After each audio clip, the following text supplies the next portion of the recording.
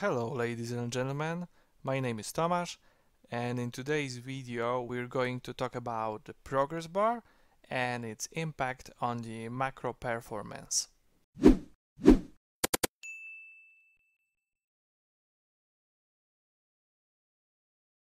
Okay, in previous video I was showing you guys my simple example of the progress bar and we were talking about the advantages.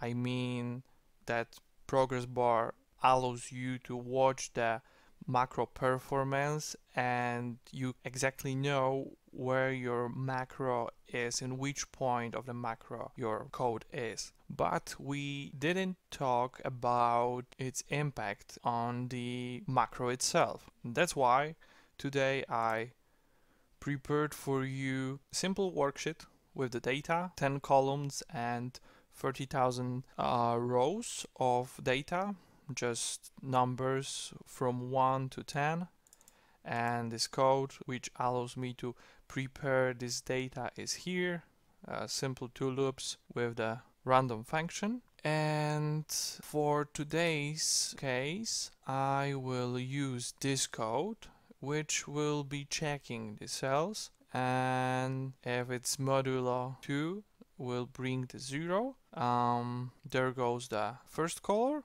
and if not there goes the second color. Um, for the first time we won't be using the progress bar that's why I commented out those lines so let's give it a try. Okay, so as you can see it took about 90, 19 seconds to color out the cells, uh, this to color out all of this data. And now we want to see how the code will perform with the progress bar. And as you can see I was uh, I looped through rows and columns. And using this configuration I will uncomment those rows like that and like that. And set the blank okay and let's try with the progress bar. As you can see it's iterating through all the rows.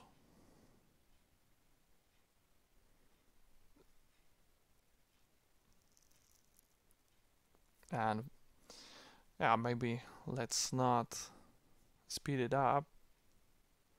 Let's wait because it will just a few seconds longer. Okay it's almost done. And the final result? It took with the progress bar like that it took about 35 seconds to go.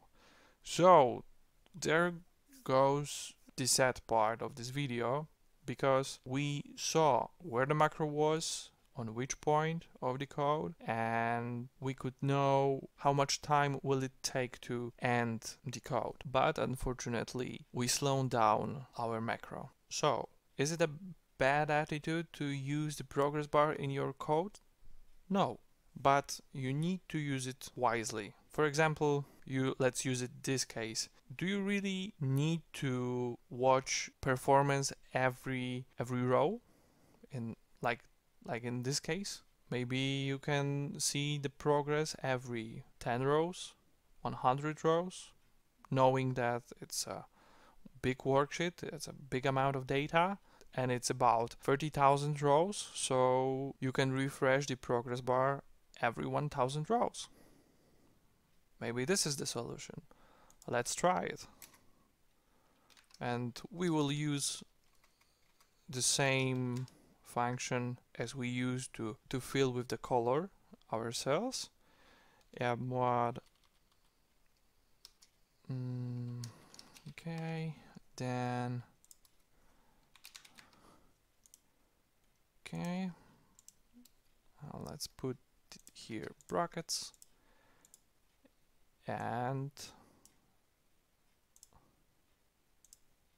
try let's try this approach.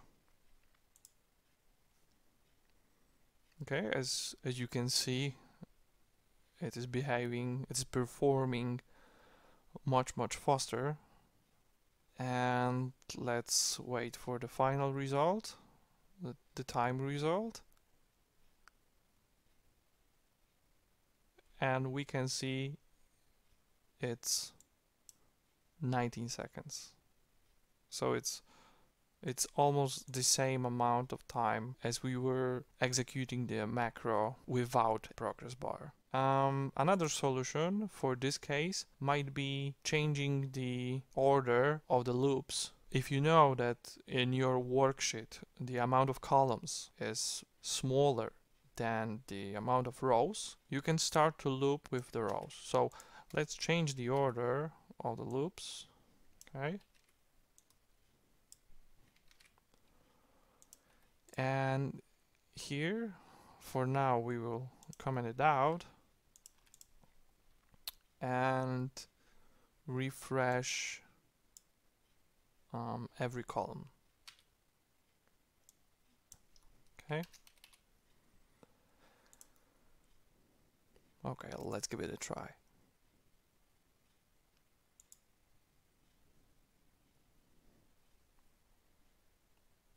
Okay, it's working nicely.